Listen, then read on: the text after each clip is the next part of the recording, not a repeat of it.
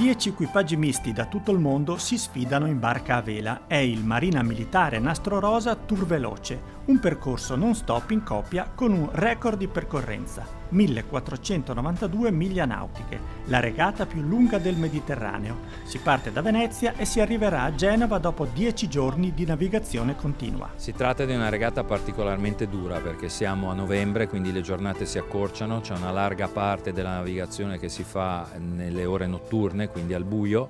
sicuramente fa freddo, molte perturbazioni e la circonnavigazione dell'Italia presenta molte difficoltà tecniche, quindi una regata che non fa dormire gli equipaggi perché ad ogni punta, ad ogni isola c'è un'opportunità per guadagnare posizioni.